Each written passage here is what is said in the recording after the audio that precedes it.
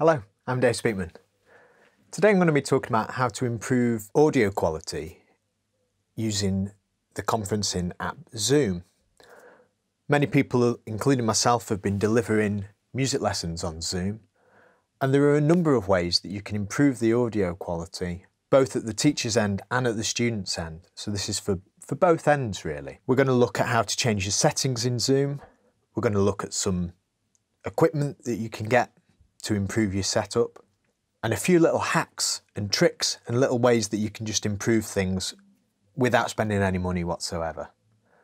If you're interested in what I'm doing, please do subscribe to the channel, give the video a like. If you have any questions about anything, please do leave a comment below as well. Thanks. First of all then, we're going to look at the settings within Zoom itself. You can see next to this mute button, this little arrow. If we click this little arrow, and we go to the bottom of this list, we can go to audio settings. Now in the audio settings, we want to uncheck this box here, automatically adjust microphone volume.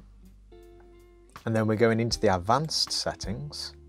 We want to disable suppress persistent background noise.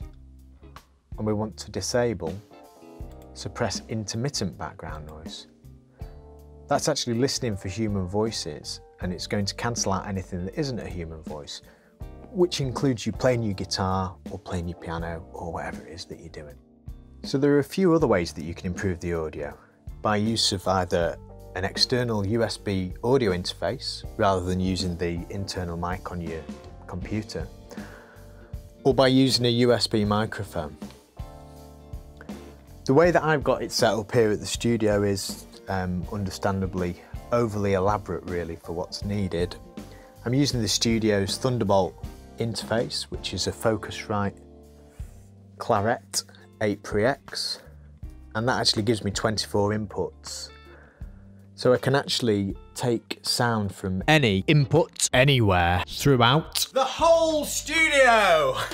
And it comes through onto the Zoom call, which is pretty cool. I wasn't expecting it to do it, but it seems to just sum all the audio together and sends it all out. It also plays back anything that I'm playing through the computer. So if I hit something on my sampler over here, I can annoy my students with that sound. And I can also play back audio from apps like Spotify and things like that. There's a workaround to that though.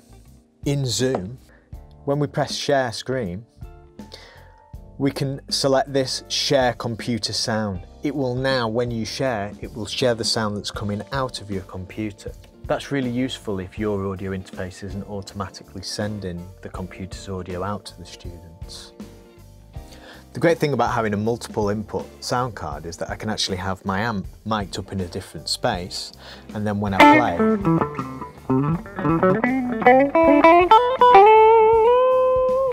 it comes through to the audio in Zoom, which is a real help. The microphone that I'm using is a Rode SmartLav, and this is the mic that I've been using for all my YouTube videos anyway. It's a relatively inexpensive lav mic as lav mics go. So for comparison, this is just the audio straight into the microphone of my MacBook Pro. The way that I've been doing it at home is with this Rode NT3. Relatively inexpensive, small diaphragm condenser mic. And what's really good about the lav mic is that it only picks my voice up. So actually when I'm doing the Zoom calls, I'm not bothering using headphones because my microphone's quite close to me and it's only picking me up. It's not really picking much of the speakers up. If you're having a problem with echo, then you're probably going to need to use headphones. Again, with a microphone like this, as a relatively small pickup, this is actually hypercardioid, what they call hypercardioid, which means that it picks up quite narrowly in front of itself and a little bit behind. And then I've been hanging this above me on a microphone stand, so just above me like this, kind of pointing at my chest the same way as they would on a film set. There are various other options for this as well, various other small diaphragm condenser mics. Anything will do really. I've seen people using SM58s and SM57s. I think that that's a perfectly viable option and, and, and a good option to use really. Using a multiple input sound card as well, you can pull, plug many different things in, but it's not necessarily the most straightforward way to do it. If you're not that into the technology and, and you don't have that much of an interest in recording, perhaps using a USB microphone would be the option. We're going to talk to a couple of my friends now about how they're approaching that. So yeah, so we're going to talk to my friend Sai about his setup. So Sai, you've gone with a USB microphone, yeah? Yeah, it's just pretty much the cheapest one I could find. It's a Behringer, Behringer C1U.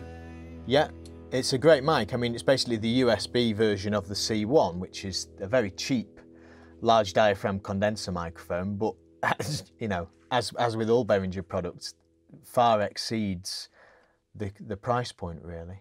Yeah, I think it's I think it's better um, than the mic just on the side of a MacBook, um, and I don't have a fancy sound card um, where I could plug it. Uh, I've got some microphones. I've got some quite good microphones. I just got no way of getting them into the computer. No. So USB microphone was. Yeah, it's quite a simple, cheap solution and one that you can leave set up. Um, eventually, when we end up going back gigging again, you can just let leave this set up for your online lessons in the future.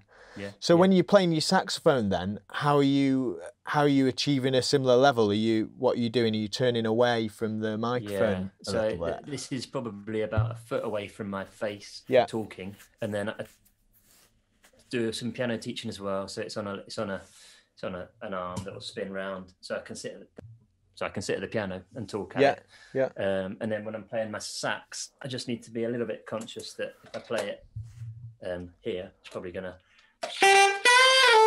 take your face off a little bit. Um, Yeah. So I just need to sit away. Um, And so- that that actually gives a more natural sound to the sax anyway. It's more like it would sound in the room. So for your students, I think it's it's probably a better way of doing it with you with you facing away. I think if you were Yeah. on axis of it, it's quite good for getting quite a- quite a good poppy sax sound. But it's not really the way that the saxophone sounds in the room. So it's not as not. useful for Yeah. your students. So yeah, brilliant, great, thank you. No worries. Cool. So we're now talking to my friend Hugh Lawrence. He has a home studio set up. Um, so how are you approaching these lessons, Hugh? What what ends have you gone to to improve the audio at your end? Okay, so I've got this microphone that I bought. Um, it's I'll just turn it so you can see what it is. Um, it's there we are. It's a Shure MV51, Shure, MV51. Yeah, great. and it's uh, it's a fantastic bit of kit. It it mounts straight onto a microphone stand, or it, or you can just use it. It sort of is its own stand as well on a desktop. And that's a- like a kickback thing on it. It's a USB microphone, here, Yeah. It's essentially a USB microphone, but uh, the the bonus is it also works with Lightning straight from iOS, which is handy. Okay. Yeah, yeah. So it's class compliant, right? Yeah, brilliant. Yeah. So and it, on it, it's got. Um, so I'm actually monitoring my headphones out the back of the mic Directly. What- Yeah. direct. So uh, this is actually my in and out. It's basically functioning as an audio interface. And on the on the front of the this thing, it's got these five presets. So I've got a preset for very loud environments, which is great for the drums. Sure. I've I've got flat, unprocessed, no no compression. Oh yeah, yeah. Uh, slight um, slight compression, I think, for speech. This is the I think they say this is for like speech and music. Okay. Uh, then then the next level up, it's got an it's got a picture of an acoustic guitar. Okay. Um, so I think Great. that's that's kind of like, basically it's the different volume levels within the room that I'm in. Yeah, yeah. It, it applies the sort of it's got a compression to it, and it's fantastic bit of kit. It's really good. Can you play me some drums? Yeah, I can. So if I put it on like the setting that you would use for recording a band that they recommend, they for recording a band, and then I I, I just have it here. Uh, and then if I play the drums, it, I think it sounds all right.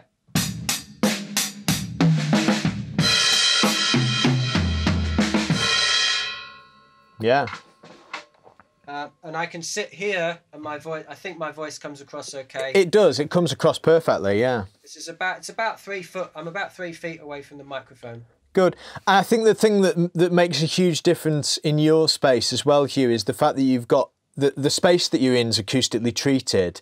So we're not getting any flutter echoes or, or, or any standing waves that are causing a problem really. So the I'm sound very of lucky that, because I've got my my garden studio, my soundproof shed, yeah, and it's Yeah. it's it's a very nice space to have. the acoustic treatment makes it makes an enormous difference. This setup for me, it's it, the, this particular microphone is fantastic for me because I don't have to have tech. It's just the mic. That's all I need. I've just got my my iMac, uh, which is quite an old iMac, uh, but it's still coping absolutely fine. And the mic. That, there's nothing else. I don't need to have an interface, a mixer, or anything. It's Yeah. fantastic. It's a very simple um, solution to the problem, isn't it? Very simple. Um, and I would say my iMac is actually I'm I'm hardwired into my router. Yeah, I think that's really Ethernet cable, important. And I think that helps with the connection. So we're going to chat to my friend Noah about how he's got his setup. So Noah, you're using you've got a microphone there and you've got your guitar. So how are you connecting this to you to your computer? Yeah, so basically, I've just got the mic, and then that's running straight into the Focusrite Scarlett 6i6. It's just like a two input interface, basically. Uh huh. Yeah. Um, and then I've got my guitar running into a Line 6 Helix, Yeah. which is then also just running straight into the interface. And then I'm just using the interface for all my audio, so that's both input and output. Great. Can we hear your guitar? Yeah.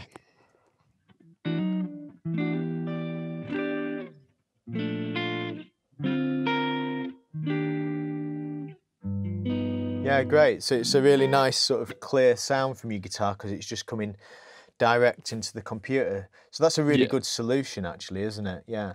Mhm. And I noticed that you're using a switched mic, so you can you can switch your mic off if you need to. As yeah, well, precisely.